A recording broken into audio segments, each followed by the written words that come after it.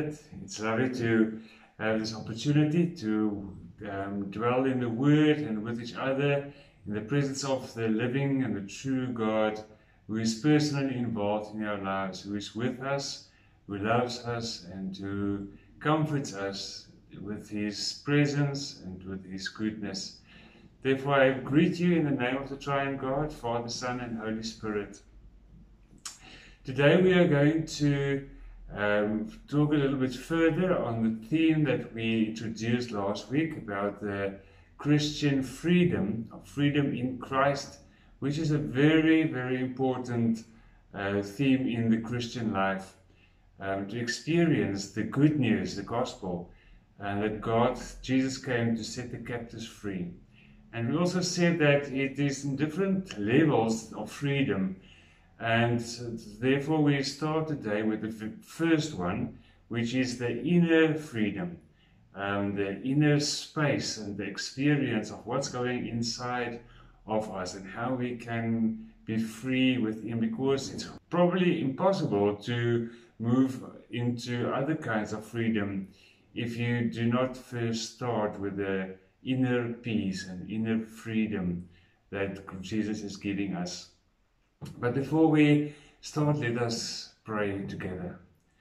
Thank you, God, for this wonderful opportunity to know and to learn and to experience the wisdom and the guidance of the Word and the Holy Spirit in our lives to form us.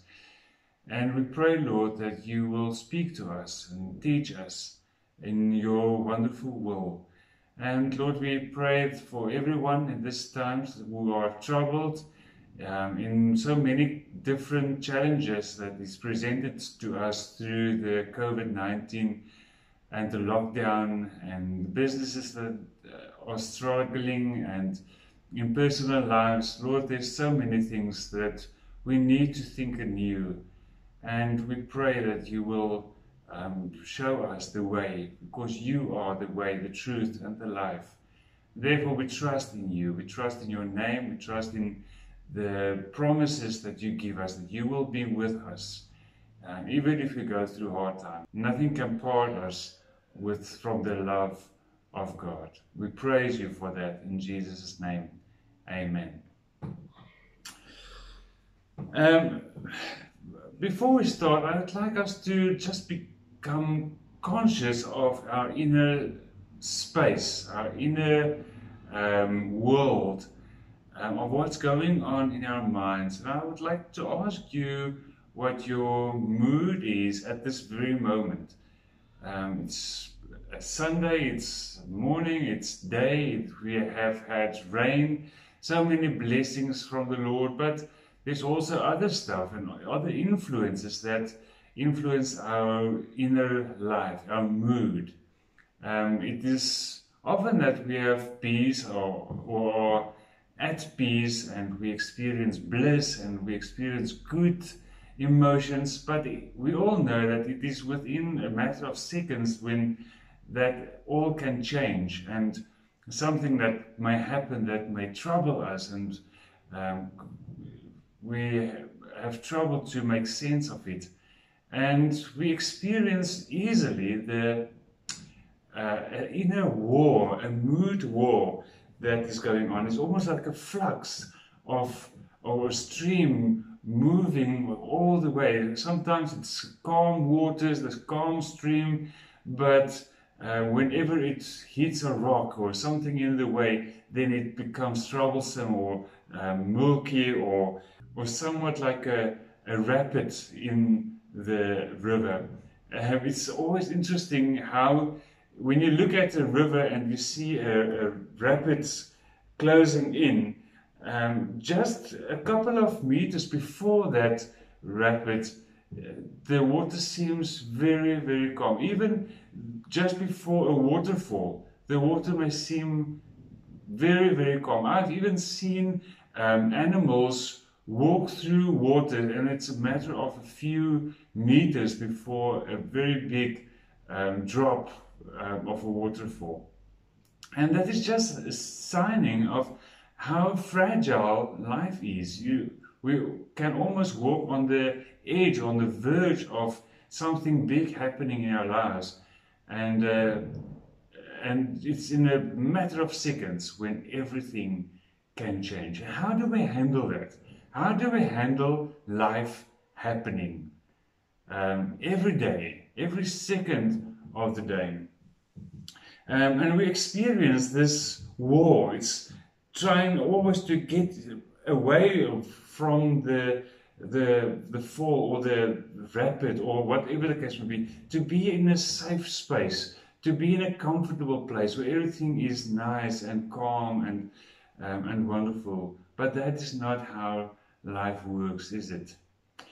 The wonderful thing is that God gives us a way to have freedom in our minds to choose um, what is best. And in that ability to be free to choose, we are not um, like in the victims of what is going on, the victims of um, different underlying currents that is working around us and even in us in our lives and influences on our lives.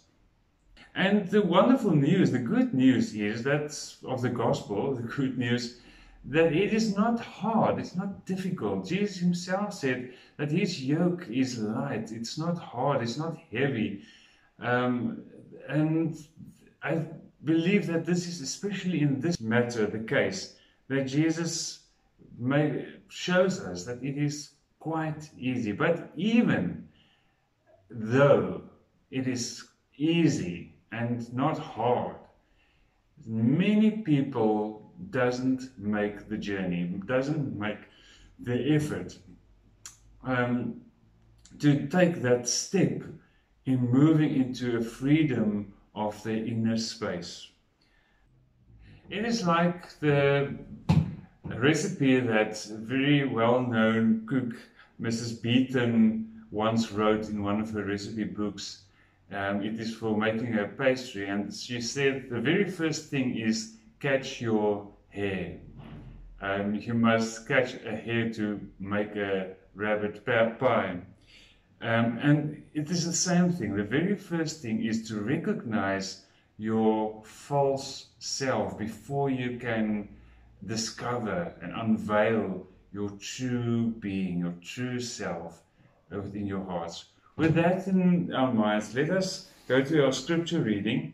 We're reading from Ephesians chapter 2, uh, chapter 4, um, from verse 17. So I tell you this, and insist on it in the Lord, that you must no longer live as the Gentiles do, in the fertility of their thinking. They are darkened in their understanding and separate from the life of God because of the ignorance that is in them due to the hardening of their hearts. Having lost all sensitivity, they have given themselves over to essentially so as it in, as to indulge in every kind of impurity with a continual lust for more. You, however, did not come to know Christ that way. Surely you heard of him and were taught in him in accordance with the truth that is in Jesus. You were taught with regard to your former way of life to put off your old self, which is being corrupted by its deceitful desires, to be made new in the attitude of your minds and to put on uh, the new self, created to be like God in true righteousness and holiness. Now, we may recognize that um, Paul used different words to describe the idea of the false self and the true self. He calls it the old self and the new self. But um, it's the same thing that it refers to. The old and the false self versus the new and the true self, the one who, whom you are becoming. Now, to explain something of this, I'd like to tell you um, the tale of a person in his 30s, and his name was Inigo. And Inigo um, came from war as uh, being hurt by a cannonball which, which broke his leg. And he had to undergo a couple of surgeries, of course, without anesthetics uh, in those times. Um, and he had a very long recovery bed um, in which he was at his home with his parents and trying to fill his days and to make it more bearable for being lying there alone and lonely, he asked his parents to give, him some of the local um, court tales and love stories. Um, and then he would picture himself in those love stories as because he didn't have the opportunity to uh, engage in life in, in a matter. He was bedridden. So he lived through the stories as if he was playing in them. But unfortunately, in the town that he lived, there wasn't many such stories.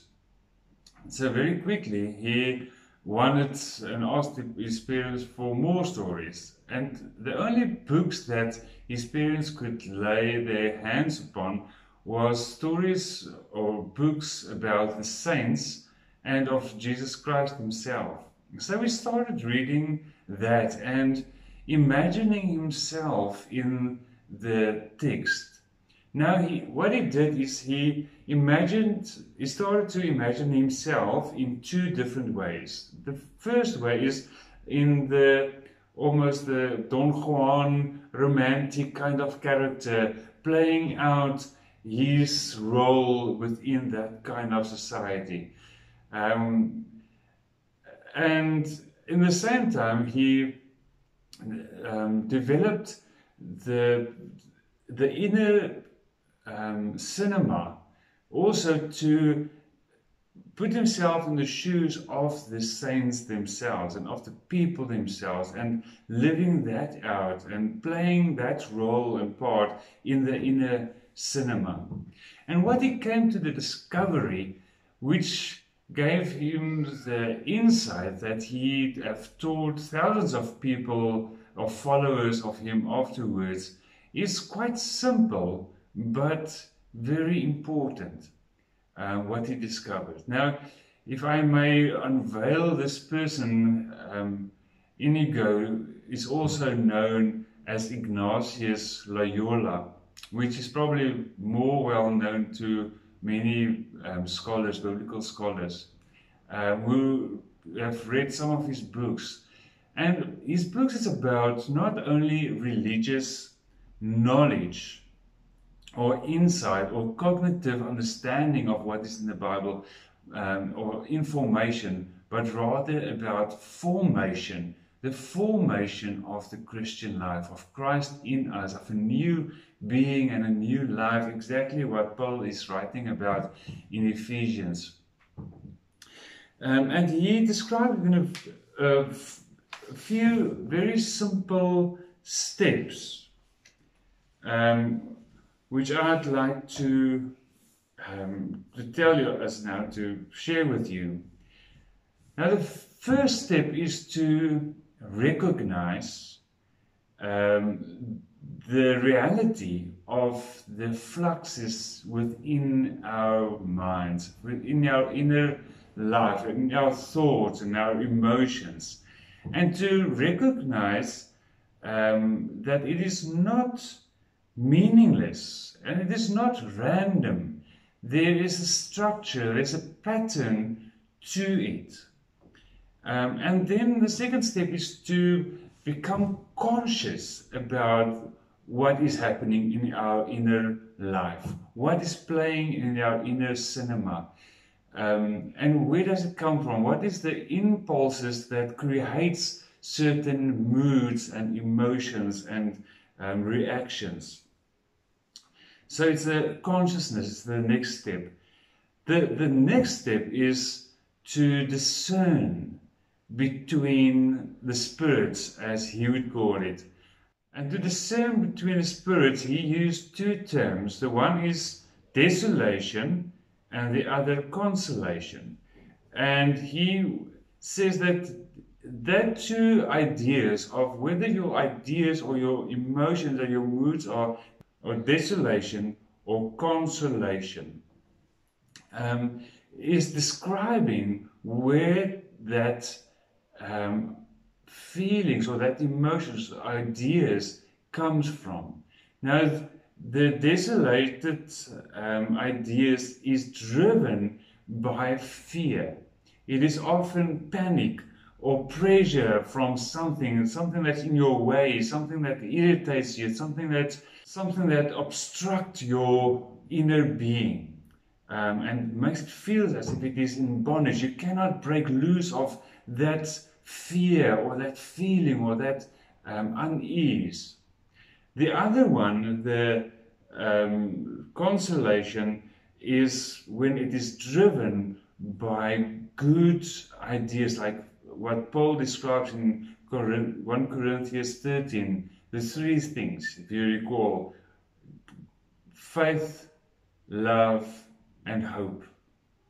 Whenever we are motivated and uh, our ideas are formed around these three pinnacle points, then the outcome is different. It is um, consolation.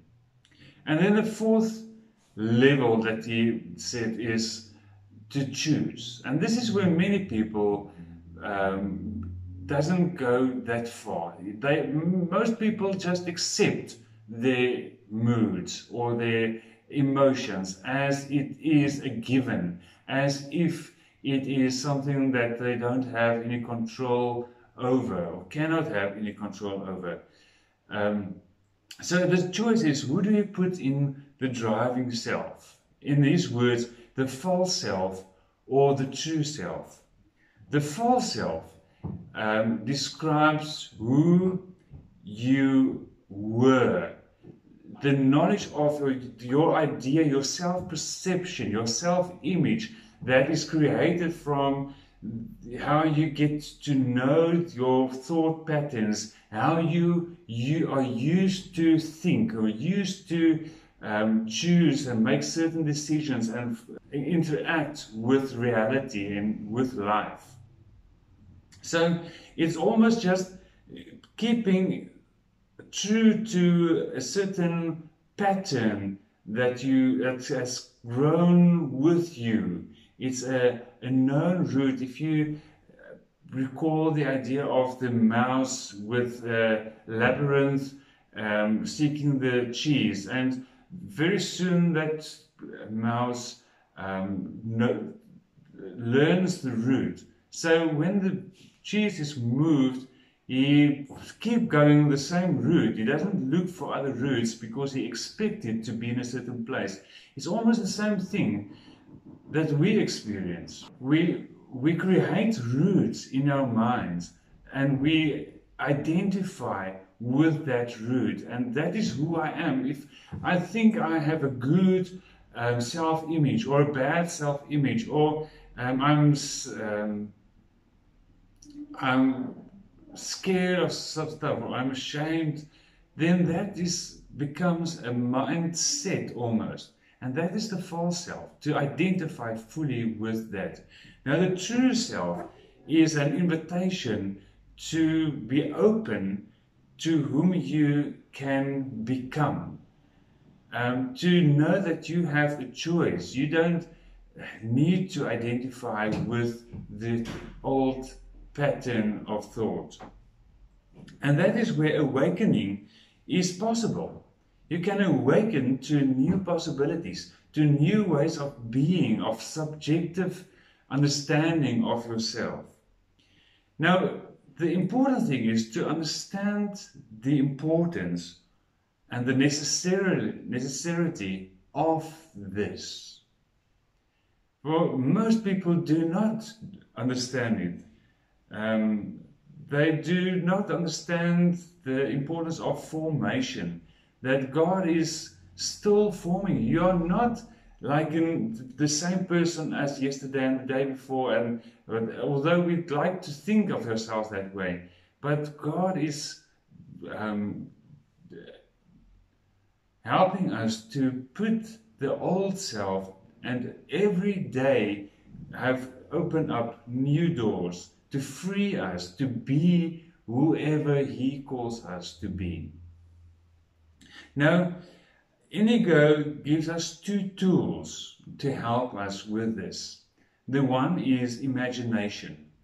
And we might think that imagination is a childish thing, um, but actually it's a very, very important gift that is given us the ability to imagine and to have a, a, a inner cinema that you can play yourself into different roles and different and different scenarios and to um, experience yourself in having a, a choice of um, to choose from in how you prefer and what is best uh, the best choice and not only to rely on your old choices the same old story but to handle every scenario from a perspective of freedom to choose what is best. And therefore, what Paul says, to, to choose the will of God, to ask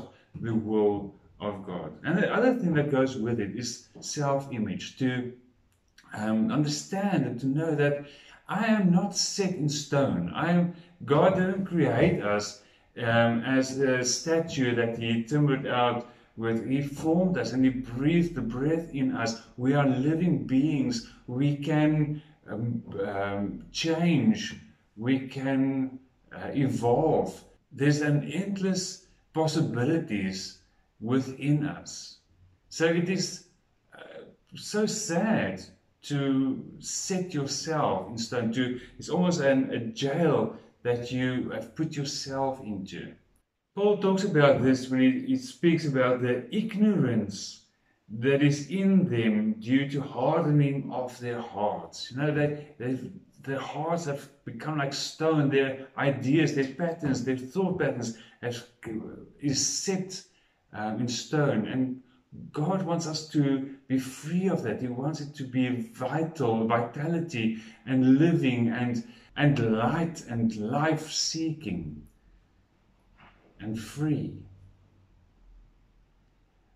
So, with these two simple tools of Ignatius of um, Loyola, um, I would like to invite you to join me next week when we uh, talk a little bit more about contemplative prayer. Um, because this is what he is describing, because it's more than just information, it is about formation, how Christ is formed in us. And with using the tools in contemplative prayer of your imagination and your self image, um, and but meanwhile, for this week, I would like us to catch the hare, to catch your hare, and therefore just to become conscious um, as often as possible about what's your mood and what is your usual way of dealing with certain impulses in your life. What is your route that is set out, that kind of repeated um, ways that you deal with stuff? Because we cannot, in the times, and especially with the COVID, um, the old ways of thinking and making choices probably won't work within the new understanding or a new uh, reality that is carved out for us. It's almost as if our cheese has been moved, and we need to be uh, to have the the connection with our inner sense, our self sense, and our true self, and the new life to be open and to make new choices, to choose who we put in the driver's seat and not just to fall back on our old ways and old ideas. Um, therefore, I pray that we all may be free in Christ and that you will set us free. You will truly set um, the captives free, but to start within our inner mind and self talk. And let us pray together. Thank you, Jesus, that you help us to understand in a really simple way the importance of our personal and our inner and how to get free and break free from old images that we have about ourselves, but to embody ourselves with the with Christ and with truth and with life and with hope and love and faith and to look to the future and to life with a vitality and ability to be free to choose the will of God in our lives. We pray this in the wonderful name of our Lord Jesus Christ. Amen. Brother and sister, I greet you and I pray that may the grace of our Lord Jesus Christ and the love of God our Father and the fellowship of the Holy Spirit be with each one of us. Amen.